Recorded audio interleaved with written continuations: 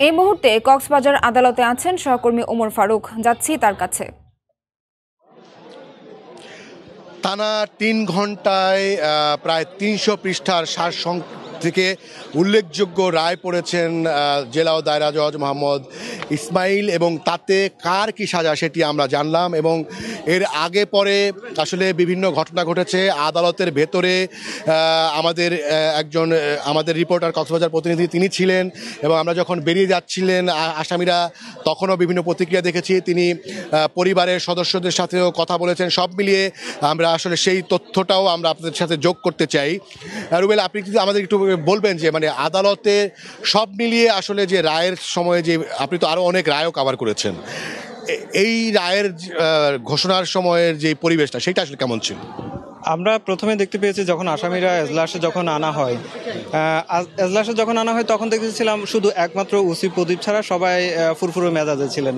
সবাই কেউ আইনজীবীর সঙ্গে কথা বলছিলেন অন্য অন্য অন্য সবার সঙ্গে কথা বলছিলেন। কিন্তু যখন অনেক দীর্ঘ দুই ঘণ্টা যখন রায় পড়ছিলেন বিচারক, তখন এক পর্যায়ে গিয়ে আসামি যারা, সবাই কিন্তু নিশ্চুপ হয়ে পড়েন এবং সবাই বসে পড়েন। এজলাসের মধ্যে বসে পড়েন। কিন্তু যখন শেষ দিকে রায় পড়া যখন শুরু হলো, সবাই কিন্তু দাঁড়িয়ে গিয়েছিল এবং এর মধ্যে যখন রায় লিয়াকত এবং উসি প্রদীপে যখন মৃত্যুদণ্ড ঘোষণা করা হয় তখন তারা দেয়ালে মাথা ঠেকিয়েছিলেন। আমি যে দৃশ্যটি দেখেছি অন্যান্য যারা যাবজ্জীবন দেওয়া হয়েছে তারা কিন্তু হাউমাউ করে কান্না শুরু করেছিলেন। তারা বলছিলেন আমরা জড়িত নই। এই ধরনের অনেক শব্দ তারা বলছিলেন। আবার যারা বেকসুর খালাস পেয়েছেন যে সাতজন এই সাতজনও আমরা দেখতে পেয়েছি তারা খুব উৎফুল্লিত ছিল এবং অনেকে সন্তুষ্ট হয়েছেন। তারা আল্লাহর কাছে সন্তুষ্ট মানে যে যে তারা বেকসুর খালাস পেয়েছেন, এই জন্য সুক্রিয়াও জ্ঞাপন করেছেন। এই দৃশ্যগুলো দেখেছি। তারপর যখন একে একে যখন বেন্ডি হয়ে আসছিল দেখছি তারা মানে এক ধরনের আচরণ শুরু করেছে। তারা জড়িত নয়, তারপর কান্নাকাটি, এই বিষয়গুলো আমরা দেখতে পাচ্ছি যে সাজা যেমনি ভাবে হয়েছে, বেকসুর খালাসও দিয়েছেন। তো সাজা যাদেরকে দেয়া হয়েছে, তাদের নিশ্চয়ই আপত্তি আছে। কিন্তু যাদেরকে বেকসুর খালাস দেয়া হলো, এই বিষয় নিয়ে রাষ্ট্রপক্ষ কিংবা পরিবারের কোনো আপত্তি বা অসন্তোষ আছে কি না আপনি তাদের সাথে কথা বলেছেন, তারা কি বলেছেন? এই বিষয়টা নিয়ে আমি যিনি বাদী রয়েছেন, বাদিনী শারমিন শারিয়া ফেরদৌস তার সঙ্গে তাকে আমি প্রশ্ন করেছিলাম এই বিষয়টা নিয়ে। উনি যে বিষয়টি বলেছে যে এখানে সবাই জড়িত ছিল যে সাতজন বেকসুর খালাস পেয়েছেন তারা এই ঘটনার সাথে সম্পৃক্ত ছিলেন এবং তারা কীভাবে বেকসুর খালাস পেয়েছেন সেটা নিয়ে তারা আসলে অসন্তুষ্ট আমরা সেটা দেখেছি। এবং তারা পরবর্তীতে সেটা নিয়ে আইনজীবীদের সঙ্গে আলাপ করে উচ্চ আদালতে যাবেন কিনা সেই বিষয়ে তিনি এই বিষয়টি আলোচনা করবেন বলে আমাকে জানিয়ে রাষ্ট্রপক্ষের আইনজীবী তখন আমি আবার পরবর্তীতে রাষ্ট্রপক্ষের আইনজীবী অ্যাডভোকেট ফরিদুল আলম যিনি বলেছিলেন তিনি বলছেন যে তারা এই রায় নিয়ে কিছুটা সন্তুষ্ট আবার কিছুটা অসন্তুষ্ট। অসন্তুষ্টের বিষয়টা বলেছে যে বেকসুর সাতজন খালাস পেয়েছে। কারণ হচ্ছে ঘটনাস্থলে ওই সাতজন এপিবিএন এর তিন সদস্য এবং পুলিশের যে বাসারা তদন্ত কেন্দ্রের যে চারজন পুলিশ সদস্য, তারা ঘটনাস্থলেই ছিলেন।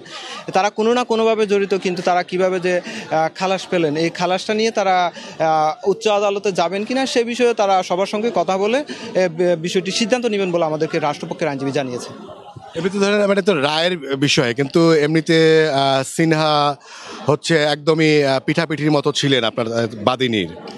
তো এই পুরো বিষয় নিয়ে তিনি কোনো মানে কোনো আবেগের কথা বা অন্য কোনো প্রতিক্রিয়া তিনি দেখেছেন?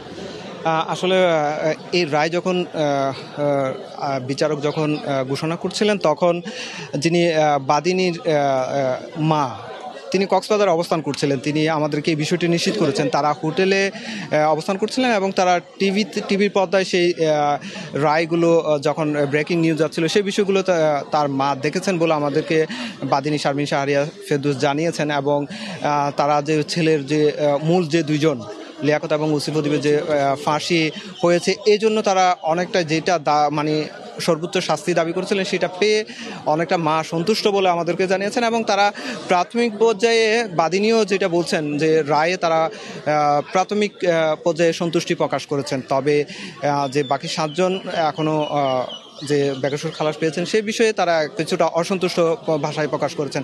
আরেকটি যে আবেগের কথা বলছেন যে দুজনই সমবু একটু বয়সে একটু বড় ছিল, এই বিষয়গুলো রায় যখন ঘোষণা হয়, তার চোখের পানি পড়ে, সেই বিষয়গুলো আসলে আমরা দেখেছি। এছাড়াও যখন আমাদের সঙ্গে কথা বলছিলেন, সে সময়ও তিনি কিছুটা আবেগগণ হয়ে পড়েন যে তার ভাই যেভাবে নৃশংস হত্যা করা হয়েছে বা যে মারা গিয়েছেন, সেই বিষয়টি নিয়ে তিনি অনেকটাই আবেগগণ হয়ে পড়েন।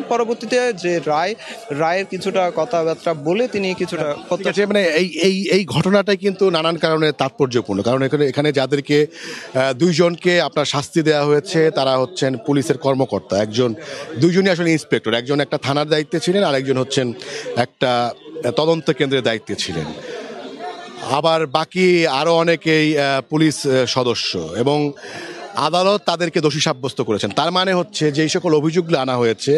একজন মানুষকে হত্যা, মাদক বাণিজ্য ক্রস ফায়ার বাণিজ্য, এই সকলকে উনি বলেছেন যে এগুলি হয়েছে। মানে আদালত সেটি মনে করছেন। এই জন্য শাস্তি দিয়েছেন।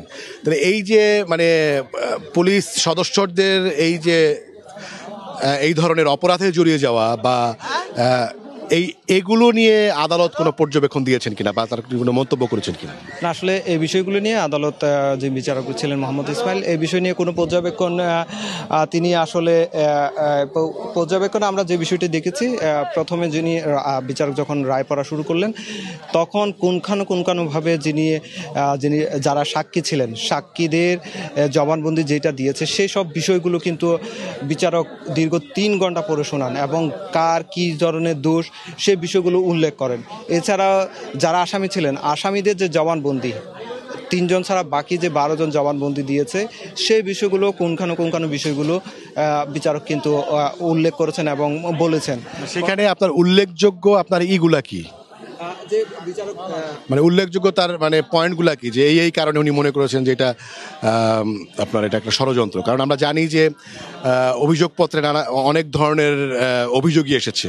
তিনি আসলে কোনগুলো গ্রহণ করেছেন? এইখানে উনি যে বিষয়টি বলেছেন বিচারক একে তো পরিকল্পিত একটি হত্যাকাণ্ড। তার উপর হচ্ছে ওনার মনে হয়েছে পরিকল্পিত হত্যাকাণ্ড? সেইটা কি উনি কোনো কোনো তার কোনো বক্তব্য বা কোনো পয়েন্টে বলেছেন?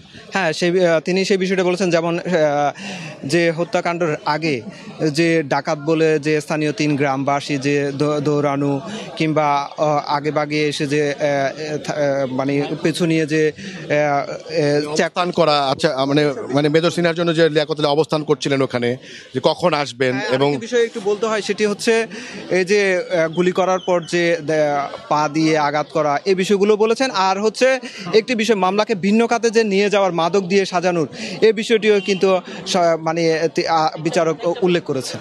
মানে সব কিছু মিলিয়ে আসলে ওই মানে ষড়যন্ত্রের থেকেও ওই ঘটনার পরবর্তী মানে নানান ধরনের কার্যক্রমও এটি যে একটি ষড়যন্ত্র, সেটিতে আসলে প্রমাণে সহায়তা করেছে। এমনকি মামলাকে ভিন্ন খাতে নেওয়া এবং যারা ভিকটিম তাদের চরিত্র হননের চেষ্টা সব কিছু মিলিয়েই আজকের এই রায় এসেছে বলে আদালত তার পর্যবেক্ষণে বলেছেন। এই ছিল এখন এই এই এই রায় সম্পর্কে আমরা যে সেই ভোট থেকে এখন পর্যন্ত আমরা কাভার করলাম। টানা তিন ঘণ্টা রায় যখন পড়া হয়েছে, তখন আমরা সেটি কাভার করেছি এবং সকাল থেকে দফায় দফায় আপনাদেরকে আপডেট দিয়েছি। আপনারা আমাদের সাথে ছিলেন এবং নিশ্চয়ই সামনে এর পরবর্তীতে যে কোনো যদি আপডেট থাকে, তাহলে নিশ্চয়ই আমরা আবারও সেই আপডেট আমরা জানাব। যে কোনো খবরের সবশেষ তথ্য সবার আগে জানতে সময় সংবাদের সাথেই থাকবেন। এই ছিল এখন পর্যন্ত আমার হাতে সবশেষ। এতক্ষণ আমাদের সাথে কক্সবাজার আদালত থেকে সরাসরি যুক্ত ছিলেন সহকর্মী ওমর ফারুক।